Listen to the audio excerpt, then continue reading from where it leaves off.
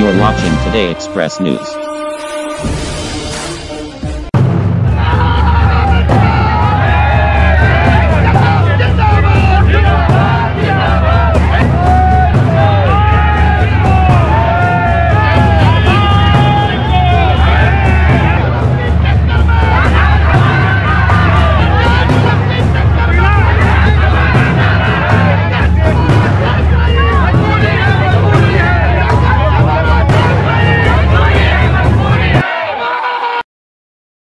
कुमार शास्त्री है और मैं सर्व कर्मचारी संघ हरियाणा का राज्य का वरिष्ठ उप प्रधान आज सी आई टी यू के बैनर तले प्रदर्शन हुआ है लघु सूचना घेराव किया था अभी।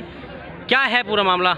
ये दरअसल देश की जो बड़ी दस ट्रेड यूनियन है उसमें सी आई टू भी है उसमें एटक भी है इंटक भी है एच एम एस भी है और ए आई टी सी भी है और सर्व कर्मचारी संघ हरियाणा अखिल भारतीय राज्य सर्व कर्मचारी महासंघ और बैंकों की बीमा की फेडरेशन है। जी। सबके आह्वान पर पिछले कल से लगातार देश में हड़ताल चल रही है और इस हड़ताल में 20 करोड़ से ज़्यादा मजदूरों ने कर्मचारियों ने भाग लिया है। निश्चित तौर पर जो केंद्र की सरकार 2014 में देश के जनता और मजदूर कर्मचारियों से वायदा करके आई थी। उन वायदों को उन्होंने पिछले साढ़े चार सालों में पूरा नहीं किया है। और मजदूर में, कर्मचारी में इस बात को लेकर के गुस्सा है।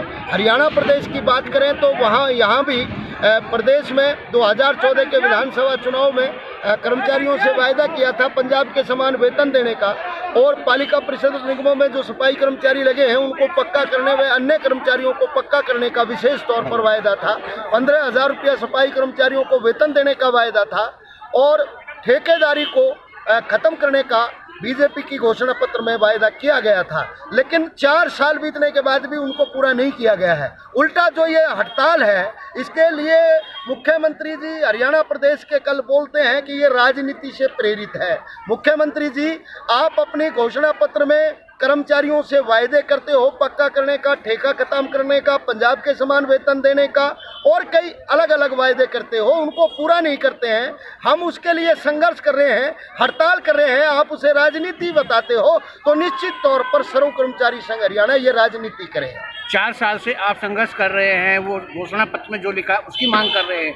अगर अभी नहीं मांगी मांग, मांगते हैं तो क्या करेंगे निश्चित तौर पर हम आंदोलन जारी रखेंगे और ये आंदोलन जो आज सड़कों पर लोग दिखाई दे रहे हैं ये इस प्रदेश के और देश के नागरिक हैं नागरिक हैं तो वोटर भी हैं। निश्चित तौर पर ये वो लोग हैं जो सरकार की कार्य प्रणाली से नाराज़ हैं और आने वाले टाइम में सरकार के खिलाफ ये लोग मतदान तो आज दो दिन पूरे हो गए कल से वापस बिल्कुल आज हड़ताल का लास्ट आखिरी दिन है और कल से लोग कामों पर लगभग लौटेंगे। कितने कर्मचारियों ने भाग लिया इसमें? लगभग आज यहाँ पर पाँच हज़ार से ज़्यादा लोग मौजूद थे। और अगर हम पूरे बात करते हैं, प्रदेश की तो दस लाख से ज़्यादा मजदूर और कर्मचारी हड़ताल पर है। ठीक है। सर